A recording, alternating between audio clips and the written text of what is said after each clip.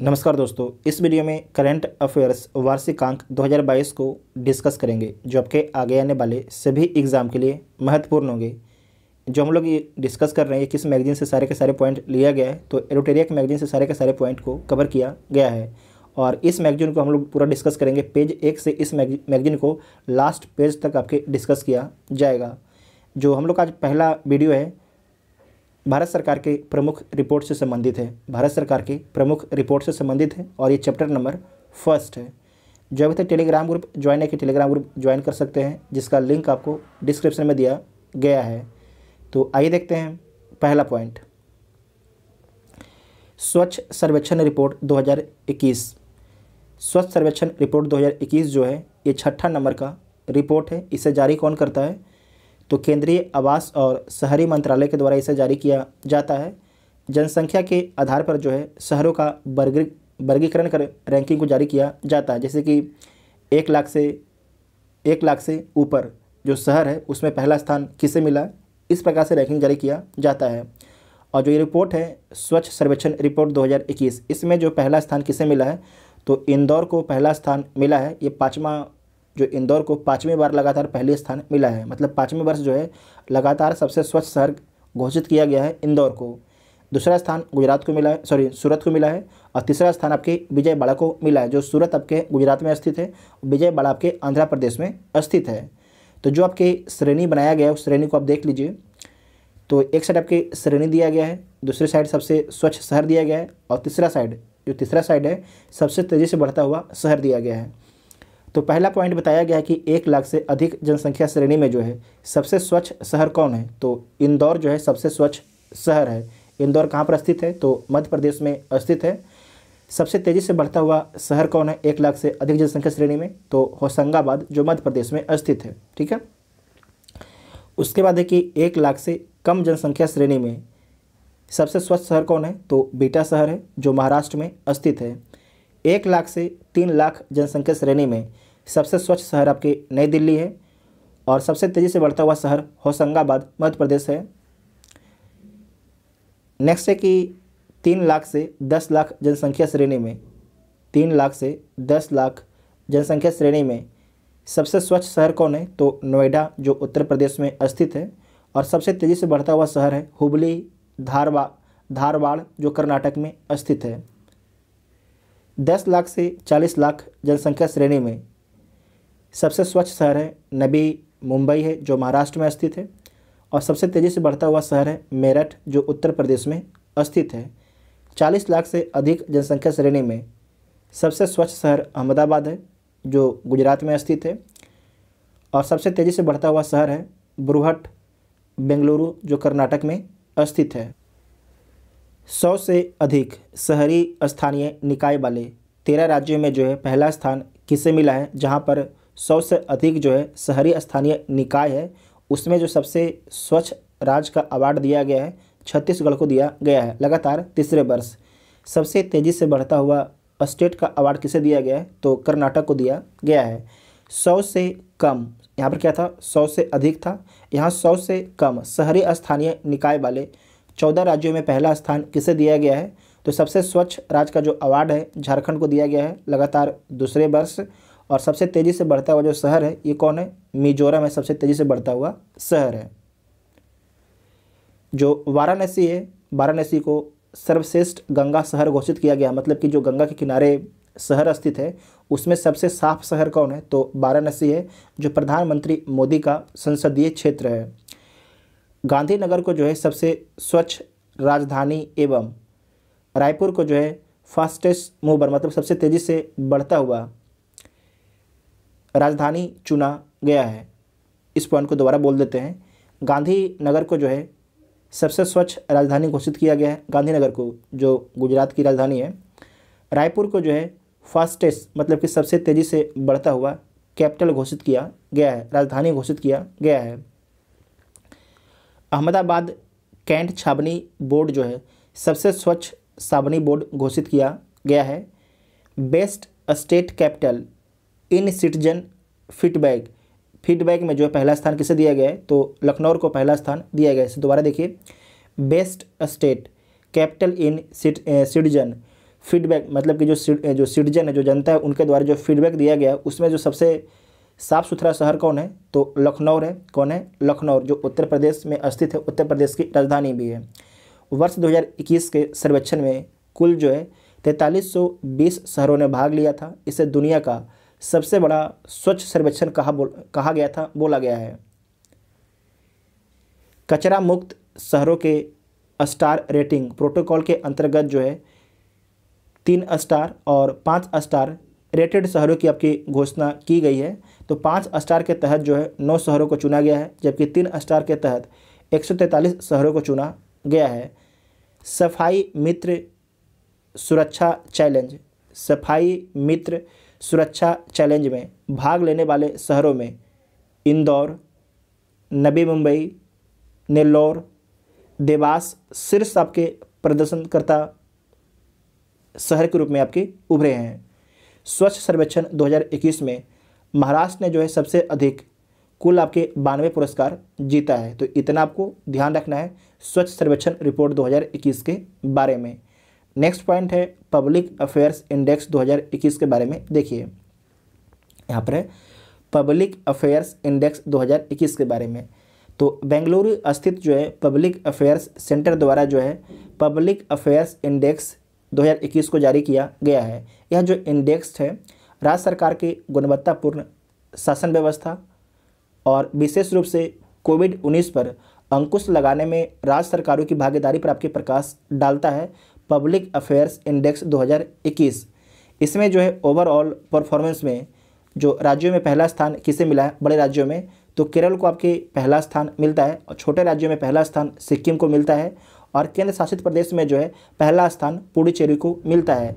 भारत में कितने राज्य हैं? तो भारत में 28 राज्य हैं और आठ केंद्र शासित प्रदेश हैं।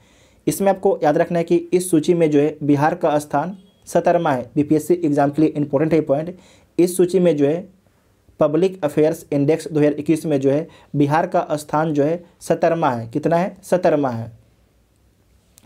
उसके बाद नेक्स्ट पॉइंट है लॉजिस्टिक्स प्रदर्शन सूचकांक 2021 लॉजिस्टिक्स प्रदर्शन सूचकांक 2021 नेशनल लॉजिस्टिक्स सूचकांक 2021 को कौन जारी करता है? तो पहला पॉइंट है कि जारी करता है, वाणिज्य और उद्योग मंत्रालय के द्वारा जारी किया जाता है और इसमें जो पहला स्थान किसे मिला है तो गुजरात राज्य को जो है लॉजिस्टिक्स प्रदर्शन सूचकांक में पहला स्थान मिला है। इसका स्कोर कितना है? तो तीन पॉइंट छः छः इसका स्कोर है। द्वितीय स्थान किसे मिलता है? तो हरियाणा को दूसरा स्थान मिलता है। पिछले रिपोर्ट की तुलना में जो है सबसे बेहतर प्रदर्शन करने वाला राज्य कौन है? तो उत्तर प्रदेश जो है सबसे बेहतर प्रदर्शन करने वाला राज्य है।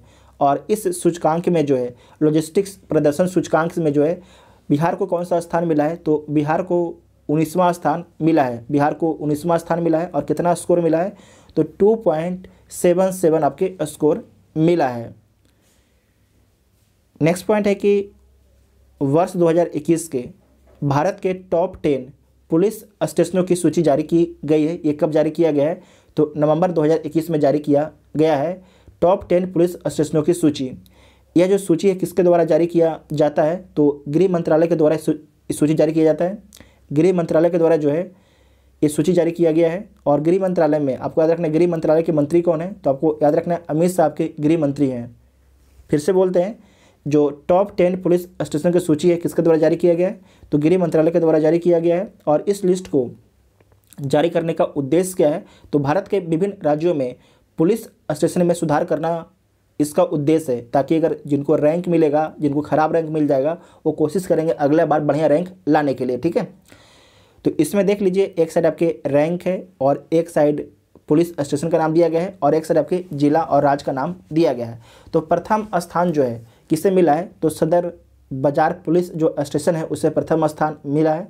और कहाँ पर स्थित है? तो नई दिल्ली में स्थित है। द्वितीय स्थान किसे मिला है? तो गंगापुर पुलिस स्टेशन को जो है द्वितीय स्थान मिला है और ये किस जिला में स्थित है? तो गंजम डिस्ट्रिक्ट उड़ीसा में स्थित है। अभी हाल ही में चर्चा रहा था, हाल ही में चर्चा में रहा है गंजम डिस्ट्रिक्ट। आप सभी लोग कमेंट करके बताइएगा किस लिए चर्चा में रहा था। उसके बाद है तृतीय स्थान पर कौन रहता है? तो भट्टू कला थाना, ये कहाँ पर स्थित है? तो फतेहाबाद, हरियाणा में स्थित है।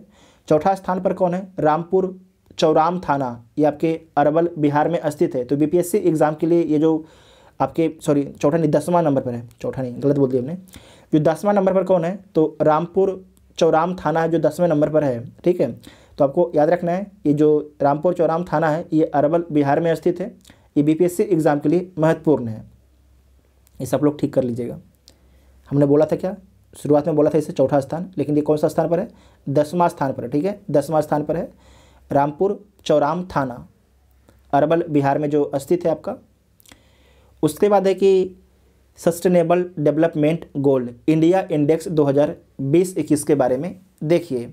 यह रिपोर्ट कौन जारी करता है? सस्टेनेबल इंडिया इंडेक्स 2020-21 को जारी कौन करता है? तो जारी करता है नीति आयोग। कौन करता है? नीति आयोग जारी करता है और नीति आयोग के द्वारा जारी किया गया है, जून 2021 में जारी किया गया है। सतत विकास लक्ष्य भारत सूचकांक 2020-21 को जारी किया गया है। जो रिपोर्ट जारी किया जाता है, इसमें आपको याद रखना कि संयुक्त राष्ट्र के सत्रह सस्टेनेबल डेवलपमेंट गोल्स के आधार पर जो है रिपोर्ट को जारी किया जाता है और सत्रह डेवलपमेंट्स गोल्स को प्राप्त करने प्राप्त करने के मामले में जो है पहला स्थान कौन है? तो केरल राज्य को पहला स्थान मिला है। और किसके द्वारा जारी किया गया है? नीति आयोग के द्वारा रिपोर्ट जारी किया गया है। जून 2021 में जारी किया गया था। यहाँ पर दिया भी गया है कि स्थान राज और स्कोर। तो प्रथम स्थान किसे मिला है इसमें? तो प्रथम स्थान केरल को मिलता है। प्रथम स्थान केरल को मिलता है। और इससे कितना स्कोर मिलता है? सेवेंटी फाइव स्कोर मिलता है। स्कोर याद ना रहे, कोई दिक्कत नहीं है, लेकिन स्थान आपको याद होना चाहिए। द्वितीय स्थान किसे मिला है? एसडीजी इंडिया इंडेक्स 2020-21 में। तो हिमाचल प्रदेश और तमिलनाडु को द्वितीय स्थान मिला है। तृतीय स्थान किसे मिला है? तो आंध्र प्रदेश आंध्र प्रदेश, गोवा, कर्नाटक, उत्तराखंड को जो है तृतीय स्थान मिलता है। उसके बाद आपको याद रखना कि राज्यों में जो है अंतिम स्थान किसे मिलता है? तो राज्यों की जो रैंकिंग है, उसमें अंतिम स्थान बिहार को मिलता है। बिहार को मिलता है और नीचे से सबसे नीचे तो आपका बिहार है, लेकिन नीचे से दूसरा स्थान किसे है? किसे मिला है? तो झारखंड को जो नीचे से दूसरा स्थान आपको मिलता है। केंद्र शासित प्रदेशों में जो है प्रथम स्थान किसे मिलता है? तो चंडीगढ़ को जो है प्रथम स्थान मिलता है केंद्र शासित प्रदेशों में। तो आपको बता चुके हैं कितने केंद्र शासित प्रदेश हैं तो आठ केंद्र शासित प्रदेश हैं। उसके बाद इसी में नेक्स्ट है कि विभिन्न क्षेत्रों में, विभिन्न क्षेत्रों में जो है राज्यों के द्वारा किया गया अच्छा प्रदर्शन के बारे में दिया गया है। जो एसडीजी है सस्टेनेबल डेवलपमेंट गोल है, वो कितने मापदंड के आधार पर रैंकिंग जारी करती है तो सत्रह मापदंड के आधार पर रैंकिंग जारी की करती है। तो सत्रह जो मापदंड है, उसके बारे में यहाँ पर बताया गया है कुछ मापदंड के बारे में, कि जैसे कि स्वास्थ्य के क्षेत्र में पहला स्थान किसे मिला है? गरीबी नहीं है मतलब कि जो किस भी, किस डिस्ट्रिक्ट में जो सॉरी किस राज्य में जो है, गरीबी आपके नहीं है तो तमिलनाडु में आपकी गरीबी नहीं है। यहाँ पर देखिए, गरीबी नहीं है तो कहाँ पर गरीबी नहीं है? तो तमिलनाडु में आपकी गरीबी नहीं है। भुखमरी कहाँ पर नहीं है? तो केरल राज्य में भुखमरी नहीं है। अच्छा स्वास्थ्य कहाँ पर है? उपलब्ध है? किस राज्य में उपलब्ध है? तो गुजरात राज्य में आपके अच्छा स्वास्थ्य उपलब्ध है। मतलब कि अच्छा स्वास्थ्य कहने का मतलब है कि जो गुजरात है, उसमें टॉप टॉप किया है। जो अच्छा स्वास्थ्य है, उसके मामले में गुजरात को पहला स्थान मिला है। गरीबी नहीं है। मतलब कि गरीबी पूरी तरीके से ज़ीरो की बात हम नहीं कर रहे हैं। मतलब कि वहाँ जो गरीबी है, जो भारत के अट्ठाईस राज्य हैं, उसके मुकाबले में गरीबी तमिलनाडु में बहुत ही कम है। समझे गए जो भूखमरी भूखमरी के मामले में पहला स्थान केरल को मिलता है। मतलब कि भूखमरी जो केरल राज्य में बहुत ही कम है। गुणवत्ता वाली शिक्षा कहाँ पर दी जाती है? तो केरल राज्य में दी जाती है। उसमें आपको पहला स्थान केरल को दिया गया है। लैंगिक समानता में लैंगिक समानता, जो सबसे कम लैंगिक समानता कहाँ पर है? तो छत्तीसगढ़ में जो है सबसे कम आपके लैंगिक समानता है। बोला जाता है कि जो आदिवासी लोग होते हैं, वहाँ पर जो लैंगिक समानता होता है, बहुत ज़्यादा होता है, ठीक है? जो हम लोग का समाज होता है, जो सिंपल समाज है, उसमें जो लैंगिक समानता बहुत, जो लैंगिक समानता नहीं, लैंगिक विषमता बहुत ज़्यादा है। बेटा और बेटियों में बहुत ज़्यादा फ़र्क किया जाता है, जबकि जो आदिवासी इलाके होते हैं, वहाँ पर बेटा और बेटियों में बहुत कम फ़र्क किया जाता है। उसके बाद है कि साफ़ पानी और सफ़ाई के मामले में गोवा को पहला स्थान मिला है। अच्छा काम और इकोनॉमिक्स ग्रोथ में जो पहला स्थान हिमाचल प्रदेश को मिला है। इंडस्ट्री इनोवेशन और इंफ्रास्ट्रक्चर में पहला स्थान गुजरात को मिला है। असमानता में कमी, असमानता में सबसे अधिक कमी कहाँ पर हुआ है? तो मेघालय में आपकी सबसे कम कमी देखने के लिए मिलता है। असमानता में कमी जो है सबसे कम कहाँ पर देखने के लिए मिलता है? तो मेघालय में, जबकि लैंगिक समानता सबसे अधिक कहाँ पर है? तो छत्तीसगढ़ में है, ठीक है? तो इतना आपको ध्यान रखना है। उसके बाद है कि ईज ऑफ़ लिविंग इंडेक्स 2020 ये जारी कब किया गया? तो मार्च 2021 में जारी किया गया ईज ऑफ़ लिविंग इंडेक्स बीस। किसके द्वारा जारी किया गया? तो आवास एवं शहरी मंत्रालय के द्वारा जारी किया गया। ये जो रिपोर्ट है, दो श्रेणियों में आपकी बनाया गया है। मिलियन से अधिक आबादी वाले शहर मतलब कि दस लाख से अधिक आबादी वाले शहर, बड़े शहर मिलियन से कम आबादी वाले शहर मतलब कि दस लाख से कम शहर जो है उसका रैंकिंग जारी किया गया। मतलब कि बड़े शहर और छोटे जो शहर हैं, उनको अलग अलग रैंकिंग दिया गया है। ठीक है? समझ गए ना? एक मिलियन मतलब होता है कि दस लाख। ठीक है? मिलियन में होता है, अगर एक मिलियन बोलेगा तो आपको समझ जाना है दस लाख। तो इसमें बोला कि बड़े शहर और छोटे शहर में रैंकिंग देख लीजिए। आपसे पूछा जा सकता है। तो बड़े शहरों में रहने योग्य शहर मतलब मिलियन से अधिक जनसंख्या इसमें पहला स्थान किसे दिया गया है? तो बड़े शहरों में जो रहने योग्य शहर है ईज ऑफ़ लिविंग इंडेक्स में पहला स्थान किसे दिया गया है? तो बेंगलुरु को पहला स्थान दिया गया है। दूसरा स्थान पुणे को दिया गया है और तीसरा स्थान आपके अहमदाबाद को दिया गया है। छोटे शहरों में जो है, पहला स्थान किसे दिया गया? जिसकी जनसंख्या दस लाख से कम है, उसमें पहला स्थान शिमला को दिया गया है। दूसरा स्थान भुवनेश्वर को दिया गया है। भुवनेश्वर कहाँ पर है? उड़ीसा में स्थित है। और तृतीय जो स्थान आपके सिलवासा को दिया गया है। तृतीय स्थान आपके सिलवास सिलवासा को दिया गया है, जो आपके केंद्र शासित प्रदेश है। जो सिलवासा शहर है, एक केंद्र शासित प्रदेश आपके शहर है। उसके बाद है कि राष्ट्रीय राजधानी दिल्ली का कौन सा स्थान मिला है? तो जो राष्ट्रीय राजधानी आपकी दिल्ली है, उसे तेरहवा स्थान मिलता है। पटना का जो स्थान है, बड़े शहरों में कौन सा है? तो तैतीसवां है। इसे ध्यान से देखिएगा, जो बिहार का एग्ज़ाम देंगे। बड़े शहरों में सबसे खराब प्रदर्शन किसका है? तो दस लाख से अधिक आबादी वाले में। तो श्रीनगर का सबसे खराब प्रदर्शन है। इसे उनचासवां स्थान मिला है जबकि धनबाद को जो है अड़तालीसवां स्थान मिला है। छोटे शहरों में सबसे खराब प्रदर्शन जो है आ, कौन किया है? तो मुजफ्फरपुर किया है। मतलब दस लाख से जो कम आबादी वाला शहर है तो उससे छोटे वाला शहर बोलेंगे। तो छोटे शहरों में सबसे खराब प्रदर्शन कौन किया है? मुजफ्फरपुर किया है। अच्छा आप लोग एक बार कमेंट करके बताइएगा कि जो आपको हम समझाने का प्रयास करते हैं तो उसमें कभी कभी कोई चीज़ को हम बार बार रिपीटेशन कर देते हैं तो उससे आपको दिक्कत होता है क्या? अगर दिक्कत होता होगा तो हम रिपीटेशन नहीं भी करेंगे। ठीक है? लेकिन हम चाहते हैं कि अगर रिपीटेशन कर देंगे तो आपको याद रहेगा। उसके बाद नेक्स्ट पॉइंट है कि उच्च शिक्षण संस्थाओं की इंडिया रैंकिंग 2021 उच्च शिक्षण संस्थाओं की India ranking 2021 N I R F India ranking 2021 ये जारी कब किया गया? तो 9 सितंबर 2021 को जारी किया गया। केंद्रीय शिक्षा मंत्री धर्मेंद्र प्रधान ने, धर्मेंद्र प्रधान ने जो है, नेशनल इंस्टीट्यूशनल रैंकिंग फ्रेमवर्क के अंतर्गत जो है, भारत के उच्च शिक्षण संस्थानों की ऑल इंडिया रैंकिंग 2021 जारी किया गया, जो छठा संस्करण था यह रैंकिंग मतलब छठी बार जारी किया गया है। तो इसमें देख लीजिए कौन सी यूनिवर्सिटी को पहला स्थान आपके मिलता है। एक साइड आपका है उच्च उच्च शिक्षा संस्थानों की रैंकिंग और इसमें आपके पहला स्थान दिया गया कि पहला स्थान किसे मिला है? तो समग्र ओवरऑल जो श्रेणी में पहला स्थान कि, किस यूनिवर्सिटी को मिला है? तो आईआईटी मद्रास को मिला है। और दूसरा स्थान किसे मिला है? तो आई आई आई एस सी बेंगलुरु को जो है दूसरा स्थान आपके मिलता है। विश्वविद्यालय श्रेणी में जो है, पहला स्थान किसे मिलता है? तो भारतीय विज्ञान संस्थान जो बेंगलुरु में स्थित है, उसे पहला स्थान मिलता है विश्वविद्यालय श्रेणी में। इंजीनियरिंग श्रेणी में पहला स्थान किसे मिलता है? तो आईआईटी मद्रास को मिलता है।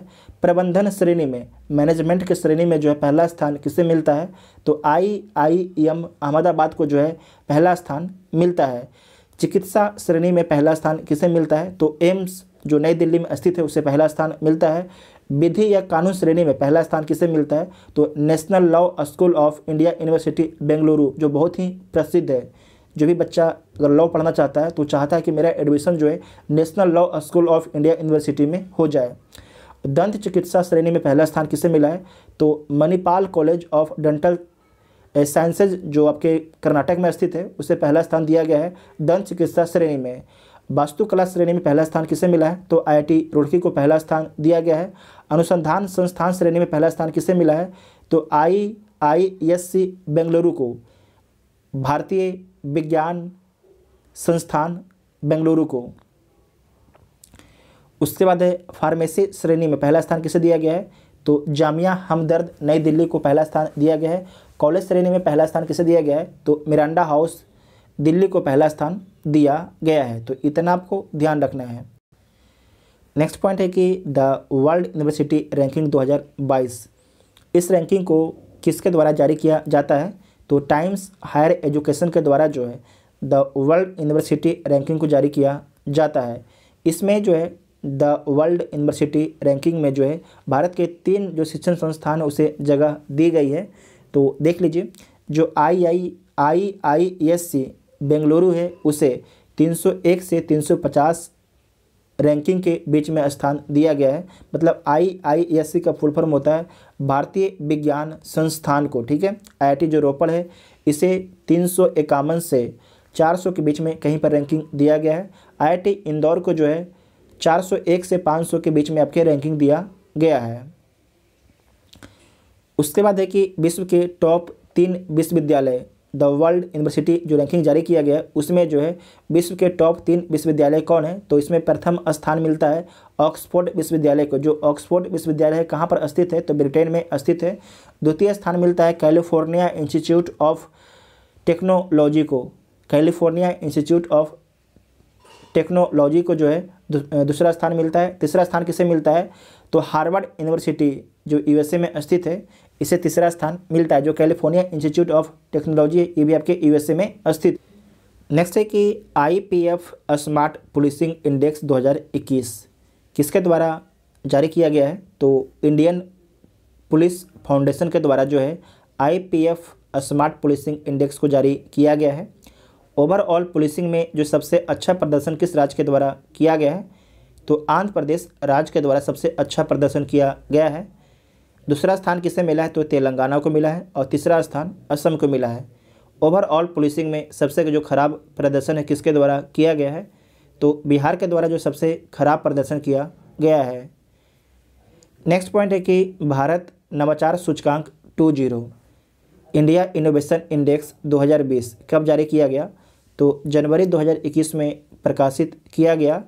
इंडिया इनोवेशन इंडेक्स के दूसरे संस्करण को जो है, नीति आयोग ने नीति आयोग ने इंस्टीट्यूट फॉर कंप्यूटिवनेस के साथ मिलकर आपके जारी किया है। इस सूचकांक को तीन श्रेणियों में आपके विभाजित किया गया है। पहला है कि विभिन्न राज्यों में, दूसरा है केंद्र शासित प्रदेशों में, तीसरा है कि पहाड़ी एवं उत्तर पूर्वी राज्यों में। जो पहाड़ी, आपके जो पहाड़ी उधर कितना है? सेवन सिस्टर प्लस एक असम, सॉरी असम नहीं, सिक्किम, ठीक है? सेवन सिस्टर फिर से बोलते हैं हम यहाँ पर, एक बार रुक जाइएगा। सेवन सिस्टर, ठीक है? उसके बाद सिक्किम, उसके बाद उत्तराखंड, हिमाचल प्रदेश हिमाचल प्रदेश। तो इन सभी को मिलाकर जो है रैंकिंग जारी किया गया था। पहला कौन सा था? तो विभिन्न जो राज्य हैं मतलब विभिन्न राज्य मतलब कि अट्ठाईस राज्य हैं। दूसरा है केंद्र शासित प्रदेशों, जो आपके आठ केंद्र शासित प्रदेश हैं, उसका रैंकिंग जारी किया गया है। तीसरा है कि पहाड़ी एवं उत्तर पूर्वी राज्यों के साथ में आपके रैंकिंग जारी किया गया है। तो इन तीनों में देख लीजिए पहला स्थान किसे मिला है? तो आपका है बड़े राज्यों में सर्वाधिक इनोवेटिव राज्य कौन रहा है? बड़े राज्यों में जो है सर्वाधिक इनोवेटिव राज्य कौन रहा है? तो कर्नाटक जो है सर्वाधिक इनोवेटिव राज्य वाला में प्रथम स्थान मिला है। द्वितीय स्थान आपको महाराष्ट्र को मिला है। तृतीय स्थान तमिलनाडु को और अंतिम स्थान बिहार को मिलता है। जो बड़े राज्यों में सर्वाधिक इनोवेटिव के जो अंतिम राज्य जो है मतलब अंतिम स्थान किसे मिला है? तो बिहार को अंतिम स्थान मिलता है और पहला स्थान कर्नाटक को मिलता है। मतलब कि जो सर्वाधिक इनोवेटिव राज्य कौन है? तो कर्नाटक है। उसके बाद है कि पूर्वोत्तर और पहाड़ी राज्यों में पहला स्थान किसे मिला है?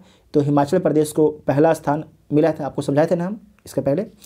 पूर्वोत्तर और जो पहाड़ी राज्य है, उसमें प्रथम स्थान हिमाचल प्रदेश को मिलता है और द्वितीय स्थान आपके उत्तराखंड को मिलता है। केंद्र शासित प्रदेश में जो है, पहला स्थान दिल्ली को मिलता है और अंतिम स्थान आपके लक्षद्वीप लक्षद्वीप को मिलता है। लक्षद्वीप आपको कहाँ पर स्थित है? तो अरब सागर में लक्षद्वीप स्थित है। इस सूचकांक में जो है, समग्र रूप से दिल्ली को शीर्ष स्थान प्राप्त हुआ है, समग्र रूप से। जबकि लक्षद्वीप को जो है, अंतिम स्थान आपको मिलता है। उसके बाद नेक्स्ट है कि परफॉर्मेंस ग्रेडिंग इंडेक्स 2019-20 तो परफॉर्मेंस परफॉर्मेंस ग्रेडिंग इंडेक्स के तीसरे संस्करण को जो है किसके द्वारा जारी किया गया है? तो शिक्षा मंत्रालय के द्वारा जो है जून 2021 में जारी किया गया है। सभी राज्यों और केंद्र शासित प्रदेशों में शिक्षा का स्तर कैसा है? इसे सौ अंकों के जो सॉरी सौ नहीं, एक हज़ार अंकों के आधार पर आपके जांचा गया है। एक हज़ार, जो एक हज़ार अंक है, उसके अनुसार जो है, सभी राज्यों और केंद्र शासित प्रदेश के जो शिक्षा का स्तर कैसा है, उसे जांचा गया है। तो देख लीजिए, इसमें जो पहला स्थान किसे मिला है तो जो पहला स्थान है, पंजाब को मिलता है। जो पंजाब है, उसे एक हज़ार नंबर में नौ सौ उनतीस नंबर मिलता है। जो पंजाब है, उसे जो है, एक हज़ार नंबर में जो शिक्षा का स्तर कैसा है, उसमें एक हज़ार में से नौ सौ उनतीस नंबर मिलता है। द्वितीय स्थान किसे मिलता है? तो छत्तीसगढ़ को द्वितीय स्थान मिलता है, नौ सौ बारह अंक मिलता है। तृतीय स्थान तमिलनाडु को मिलता है, नौ सौ छः अंक मिलता है। और जो अंतिम स्थान है, जो अंतिम स्थान है, ये आपके लद्दाख है, इसे पाँच सौ पैंतालीस अंक मिलता है एक हज़ार में। उसके बाद यहाँ पर ग्रेड और लेवल के आधार पर भी रैंकिंग जारी किया गया है। तो इसमें बताया गया कि लेवल एक जो लेवल एक है नौ सौ इक्यावन नंबर से एक हज़ार के बीच में है। इसमें कोई भी राज्य नहीं है। जो पं, जो पंजाब था उसे कितना अंक मिलता है? तो उसे नौ सौ उनतीस अंक मिलता है। तो इसे ग्रेड लेवल टू में रखा जाएगा। इसमें जो है अंडमान एवं निकोबार छत्तीसगढ़ केरल पंजाब और तमिलनाडु जो है आपके लेवल टू में आ रहे हैं। इसमें कुल आपके पाँच राज्यों को शामिल किया गया है लेवल टू में। लेवल थ्री जो है 701 से 750 तक आपके रखा गया है। इसमें असम है, बिहार है, मध्य प्रदेश है, मिजोरम है, कुल चार राज्यों को शामिल किया गया है। लेवल जो पाँच है, ज़ीरो से 550 है मतलब कि अंतिम है ये। तो इसमें जो लद्दाख को लद्दाख को जो है, लेवल पाँच में स्थान दिया गया है। और कितने राज्य हैं तो लेवल पाँच में केवल एक राज्य है लद्दाख सॉरी जो लद्दाख है, ये केंद्र शासित प्रदेश है। क्या है? केंद्र शासित प्रदेश है। तो आपको याद रखना है लेवल पाँच में जो है, केवल आपके लद्दाख है, केवल आपके लद्दाख है। तो मतलब एक केंद्र शासित प्रदेश को आपके शामिल किया गया है केवल उसके बाद है कि India justice report 2020 India justice report 2020 किसके द्वारा जारी किया जाता है? तो टाटा ट्रस्ट द्वारा जो है, इंडिया जस्टिस रिपोर्ट जारी किया जाता है। ये आपके दूसरा संस्करण था। दूसरा संस्करण कब जारी किया गया था? तो जनवरी 2021 में जारी किया गया था। तो इसमें देख लीजिए कि 18 बड़े और मध्यम श्रेणी वाले राज्यों में एक करोड़ से अधिक जनसंख्या वाले राज्यों के बारे में यहाँ पर दिया गया है। इसमें पहला स्थान किसे दिया गया है? तो महाराष्ट्र को पहला स्थान दिया गया है, दूसरा स्थान तमिलनाडु को दिया गया है और तीसरा स्थान तेलंगाना को दिया गया है। अंतिम स्थान अठारवा किसे दिया गया है? तो उत्तर प्रदेश को अंतिम स्थान मतलब अठारहवा स्थान मिला है। बिहार को इसमें जो है तेरहवा स्थान मिलता है। छोटे राज्यों की श्रेणी में जिसकी आबादी जो है एक करोड़ से कम है, उसमें पहला स्थान त्रिपुरा को मिलता है और अंतिम जो स्थान है मेघालय को मिलता है, त्रिपुरा, मिजोरम। जो कर्क रेखा है, भारत कितने राज्य भारत जो कर्क रेखा है, भारत के आठ राज्यों से होकर गुजरती है तो त्रिपुरा से भी होकर आपके गुजरती है। तो समझे कि नहीं? जो आपके छोटे राज्य हैं, जिसकी जनसंख्या एक करोड़ से कम है। तो इंडिया जस्टिस रिपोर्ट में जो है, उसे पहला स्थान किसे मिला है? तो त्रिपुरा को पहला स्थान मिला है और अंतिम स्थान आपके मेघालय को मिलता है, जहाँ गारो खासी जयंती आपके स्थित है। नोट में दिया गया है कि कानूनी सहायता मुहैया कराने में जो है, पहला स्थान किसे मिला है? तो महाराष्ट्र को मिला है। न्यायपालिका की सुविधा देने में पहला स्थान तमिलनाडु को मिला है नागरिकों को पुलिस सेवा दिलाने में पहला स्थान कर्नाटक को मिला है। बेहतर जेल सुविधा दिलाने वाले पहला स्थान कौन है? तो राजस्थान है मतलब सबसे बेहतर जेल कहाँ पर है? तो राजस्थान में यह रैंकिंग जो है, चार आधारों पर जारी किया गया है। पहला क्या है? पहला आपके कानूनी सहायता। दूसरा है न्यायपालिका। तीसरा है पुलिसिंग। चौथा है जेल के आधार पर तैयार किया गया है। तो ये आपके याद भी रख सकते हैं, ये पूछा जा सकता है। नेक्स्ट है कि उत्तर पूर्वी क्षेत्र, जिला एसडीजी इंडेक्स 2021-22 जो उत्तर पूर्वी जिला, क्षेत्र जिला एसडीजी इंडेक्स है किसके द्वारा जारी किया गया है? तो नीति आयोग और उत्तर पूर्वी क्षेत्र के विकास मंत्रालय के द्वारा जारी किया गया है। एन ई आर जिला एसडीजी रिपोर्ट जारी किया गया है। तो एन ई आर मतलब क्या होता है? North east region, district sustainable development gold report जारी किया गया है। नीति आयोग और उत्तर पूर्वी क्षेत्र के विकास मंत्रालय के द्वारा जारी किया गया है। ये सूचकांक जो है, सतत विकास लक्ष्यों पर भारत के आठ पूर्वी राज्यों के जिलों के प्रदर्शन को आपको मापता है, ठीक है? तो देख लीजिए, इसमें एक साइड आपके रैंक दिया गया है, जिला दिया गया है और राज्य दिया गया है। तो उत्तर पूर्वी क्षेत्र जिला एसडीजी इंडेक्स 2021 22 में पहला स्थान किसे मिलता है? तो पूर्वी सिक्किम जो जिला है, उससे पहला स्थान मिलता है। ये डिस्ट्रिक्ट कहाँ पर स्थित है? तो सिक्किम राज्य में स्थित है। उसके बाद द्वितीय स्थान किसे मिलता है? तो उत्तरी त्रिपुरा को द्वितीय स्थान मिलता है, जो त्रिपुरा राज्य में स्थित है। तृतीय स्थान पश्चिम त्रिपुरा को मिलता है, जो त्रिपुरा राज्य में स्थित है। अंतिम स्थान जो है, अंतिम स्थान किफाइड किफाइडर किफाइरर किफाइरर जिला को मिला है, ये जो नागालैंड में स्थित है। फिर से बोलते हैं किफाइरर किफाइरर जिला को जो है अंतिम स्थान मिलता है, ठीक है? तो इतना आपको ध्यान में रखना है। उसके बाद है कि एनीमिया मुक्त भारत सूचकांक 2020-21 जो आंकड़ा है, कब तक आंकड़ा है, इसमें जो, इसमें आंकड़ा जो लिया गया है, मार्च 2021 तक का आंकड़ा शामिल है एनीमिया मुक्त भारत सूचकांक 2020-21 में। ये पहल जो है स्वास्थ्य और परिवार कल्याण मंत्रालय और यूनिसेफ की ये पहल है। एनीमिया मुक्त सूचकांक में जो है पहला स्थान किसे मिलता है? तो मध्य प्रदेश को पहला स्थान मिलता है। एनीमिया क्या होता है? तो महिलाओं में जो है खून की कमी हो जाती है। भारत में बोला जाता है कि ज़्यादातर महिलाओं में, जिसे अगर मान लीजिए कि पाँच महिलाएँ हैं तो पाँच महिलाएँ में से एक महिलाओं को एनीमिया तो है ही भारत में।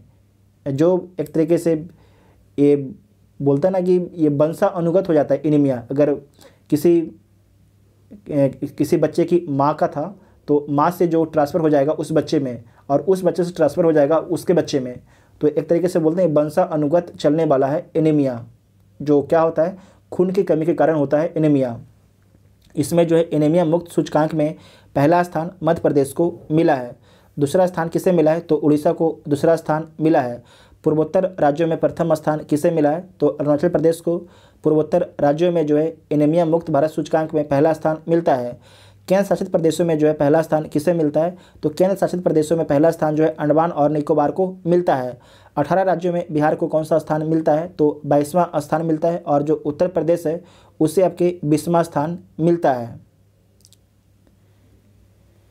उसके बाद नेक्स्ट है कि म्यूनिसिपल परफॉर्मेंस इंडेक्स ये कब जारी किया गया है? म्यूनिसिपल परफॉर्मेंस इंडेक्स तो मार्च 2021 में जारी किया गया है। यह रिपोर्ट किसके द्वारा जारी किया गया है? म्यूनिसिपल परफॉर्मेंस इंडेक्स तो आवास एवं शहरी मंत्रालय के द्वारा जारी किया गया है। इस रिपोर्ट को जो है, दो श्रेणियों में आपके बनाया गया है। पहला है कि मिलियन से अधिक आबादी वाले नगर पालिका मतलब कि दस लाख से अधिक आबादी वाले नगर पालिका और मिलियन से कम आबादी वाले नगर पालिका मतलब कि दस लाख से कम आबादी वाले नगर पालिका तो देख लीजिए, मिलियन से अधिक जनसंख्या वाले जो नगर पालिका है, उसमें पहला स्थान किसे मिला है? तो इसमें जो पहला स्थान मिला है, इंदौर को मिला है। दूसरा स्थान सूरत को मिला है। तीसरा स्थान आपके भोपाल को मिला है। दस लाख से कम जनसंख्या वाले नगर निगम में पहला स्थान नई दिल्ली को मिला है। दूसरा तिरुपति को मिला है। तीसरा आपके गांधीनगर को मिलता है, जो गुजरात में स्थित है। पटना जो नगर निगम है, इसे कौन सा स्थान मिलता है? तो इससे आपके सोलहवा स्थान मिलता है। और एक मिलियन से ज़्यादा जनसंख्या वाले नगर निगम में सबसे खराब प्रदर्शन कौन करता है? तो गुवाहाटी जो है सबसे खराब प्रदर्शन करता है एक मिलियन से ज़्यादा जनसंख्या वाले नगर पालिका में। और एक मिलियन से कम जनसंख्या वाले नगर पालिका में सबसे खराब प्रदर्शन कौन करता है? तो शिलोंग जो है सबसे खराब प्रदर्शन आपके करता है। उसके बाद है कि राज्य खाद्य सुरक्षा सूचकांक 2020-21 ये कब जारी किया गया? तो 20 सितंबर 2021 को जारी किया गया।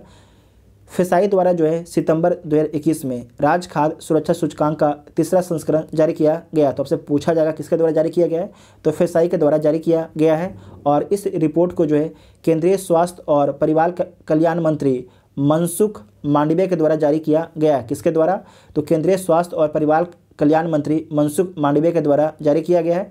इस सूचकांक में जो है खाद्य सुरक्षा के पाँच मापदंडों के अनुसार राज्यों एवं केंद्र शासित प्रदेशों के प्रदर्शन के अनुरूप आपकी रैंकिंग दी गई है। तो इसे देख लीजिए, जो इस सूचकांक है, उसे खास सुरक्षा के पाँच मापदंडों के अनुसार राज्यों एवं केंद्र शासित प्रदेशों के प्रदर्शन के अनुरूप आपकी रैंकिंग दिया गया है। तो देख लीजिए, इसमें है कि बड़े राज्यों में, छोटे राज्यों में, केंद्र शासित प्रदेशों में तो जो प्रथम स्थान है बड़े राज्यों में गुजरात को मिलता है, छोटे राज्यों में गोवा को मिलता है और जो केंद्र शासित प्रदेश है, उसमें पहला स्थान जम्मू कश्मीर को मिलता है। द्वितीय स्थान किसे मिलता है? केरल को, बड़े राज्यों में, छोटे राज्यों में मेघालय को और यूटी में। मतलब केंद्र शासित प्रदेश में जो है, पहला स्थान अंडमान सॉरी दूसरा स्थान अंडमान एवं निकोबार को मिलता है। पहला स्थान किसे मिलता है? केंद्र शासित प्रदेश में तो जम्मू कश्मीर को पहला स्थान मिलता है। तीसरा स्थान तमिलनाडु को और बड़े राज्यों में, छोटे राज्यों में मणिपुर को और केंद्र शासित प्रदेशों में तीसरा स्थान नई दिल्ली को मिलता है। अंतिम स्थान बिहार को मिलता है बड़े राज्यों में और छोटे राज्यों में अंतिम स्थान मिजोरम को मिलता है और छोटे केंद्र शासित प्रदेश में जो केंद्र शासित प्रदेश में जो है अंतिम स्थान किसे मिलता है तो लक्षद्वीप को अंतिम स्थान मिलता है। फिर से बोलते हैं, जो अंतिम स्थान किसे मिलता है तो बिहार को जो है अंतिम स्थान मिलता है बड़े राज्यों में, छोटे राज्यों में अंतिम स्थान मिजोरम को मिलता है और केंद्र शासित प्रदेश में अंतिम स्थान आपके लक्षद्वीप को मिलता है। बड़े राज्यों में उत्तर प्रदेश का पाँचवा स्थान है, ठीक है? पाँचवा स्थान है। उसके बाद इसी पेज में है कि वर्ष 2021 के विभिन्न ऑपरेशन के बारे में देख लीजिए। ये भी कंप्लीट हो जाएगा पूरा पेज। तो पहला है ऑपरेशन देवी शक्ति। ये किसके द्वारा चलाया गया था? तो विदेश मंत्रालय के द्वारा चलाया गया था और ऑपरेशन देवी शक्ति चलाने का उद्देश्य क्या था? तो भारत के विदेश मंत्रालय ने अफ़गानिस्तान में फंसे भारतीय नागरिकों को निकालने के लिए जो है ऑपरेशन देवी शक्ति को चलाया था। उसके बाद है कि operation blue freedom, operation blue freedom, इसकी शुरुआत किसके द्वारा किया गया है? तो टीम क्लॉव के द्वारा इसकी शुरुआत किया गया है और इसके तहत जो है, भारत सरकार ने सियाचिन ग्लेशियर पर चढ़ाई करने के लिए विकलांग लोगों की एक टीम गठित की और यह विकलांग लोगों की सबसे बड़ी टीम के लिए नया विश्व रिकॉर्ड होगा। ऑपरेशन नमस्ते किसके द्वारा चलाया गया है? तो भारतीय सेना के द्वारा चलाया गया ऑपरेशन नमस्ते। भारतीय सेना द्वारा जो है, खुद को कोरोना वायरस के संक्रमण से मुक्त रखने के लिए चलाया गया है ऑपरेशन नमस्ते। ऑपरेशन वंदे भारत मिशन चलाया गया है विदेश मंत्रालय के द्वारा। और क्यों चलाया गया है? तो विदेश में फंसे चौदह हज़ार आठ सौ भारतीय नागरिकों को घर लाने के लिए ऑपरेशन वंदे भारत मिशन चलाया गया था। ऑपरेशन मिशन सागर किसके द्वारा चलाया गया है? तो विदेश मंत्रालय के द्वारा चलाया गया है कोविड उन्नीस से निपटने के लिए। मालदीप मेडागास्कर सेशल्स कोमोरोस को आवश्यक खाद्य सामग्री तथा आयुर्वेदिक दवाओं की आपूर्ति करने के लिए ऑपरेशन मिशन सागर चलाया गया था। उसके बाद है कि ऑपरेशन प्रवाह, ये किसके द्वारा चलाया गया है? तो कोचिंग एयरपोर्ट लिमिटेड के द्वारा चलाया गया है। कोचिंग इंटरनेशनल एयरपोर्ट लिमिटेड ने एयरपोर्ट को बाल के खतरे से बचाने के लिए ऑपरेशन प्रवाह की शुरुआत की थी। ऑपरेशन ओलेबिया की शुरुआत किसके द्वारा किया गया है? तो भारतीय तटरक्षक के द्वारा इसकी शुरुआत की गई है और उड़ीसा के ओलिव रिडले कछुओं को बचाने के लिए। उड़ीसा के ओलिव रिडले जो कछुए हैं, उनको बचाने के लिए ऑपरेशन ओलेबिया को चलाया गया है भारतीय तटरक्षक बल के द्वारा। ऑपरेशन समुद्र सेतु सेकेंड किसके द्वारा चलाया गया है? तो भारतीय नौसेना के द्वारा चलाया गया है। ऑक्सीजन से भरे कंटेनरों एवं मेडिकल सप्लाई के विदेशों से भारत में तीव्र गति से शिपमेंट करने के लिए जो है ऑपरेशन समुद्र सेतु टू आपके चलाया गया था भारतीय नौसेना के द्वारा। उसके बाद है कि ऑपरेशन समुद्र सेतु किसके द्वारा चलाया गया है? तो भारतीय नौसेना के द्वारा चलाया गया है। कोविड उन्नीस के शुरुआती दिनों में जो है मालदीव में फंसे भारतीय को वापस लाने के लिए भारतीय नौसेना ने ऑपरेशन समुद्र सेतु आपके चलाया था। उसके बाद है कि ऑपरेशन को जेट भारतीय सशस्त्र बल के द्वारा चलाया गया है। चिकित्सीय बुनियादी ढांचा, ऑक्सीजन आपूर्ति श्रृंखला आदि को मजबूती के माध्यम से कोविड उन्नीस विरोधी प्रयासों में आपके सहायता के लिए चलाया गया था। ऑपरेशन सर्द हवा किसके द्वारा चलाया गया है? तो सीमा सुरक्षा बल के द्वारा जो है ऑपरेशन सर्द हवा चलाया गया है। राजस्थान के जो पश्चिमी अंतर्राष्ट्रीय सीमा पर घने कुहासे में घुसपैठ की घटनाओं को रोकने के लिए जो है ऑपरेशन सर्द हवा ऑपरेशन चलाया गया है सीमा सुरक्षा बल के द्वारा। तो हम लोग का जो पहला चैप्टर है, ये पूरा कंप्लीट हुआ। करीब एक घंटा के आसपास का वीडियो हो गया होगा, मैं पता नहीं। आपको वीडियो कैसा लगा, आप लोग कमेंट करके ज़रूर बताइएगा। उसके बाद जो अगला जो वीडियो आएगा, विभिन्न पत्रिकाओं द्वारा जारी सूची से संबंधित आपके दूसरा वीडियो हम लोग का अपलोड होगा। तो आप लोग को वीडियो कैसा लगा कमेंट करके ज़रूर बताइएगा। जो चैनल पर पहली बात है चैनल को सब्सक्राइब करना नहीं भूलिएगा। Thank you.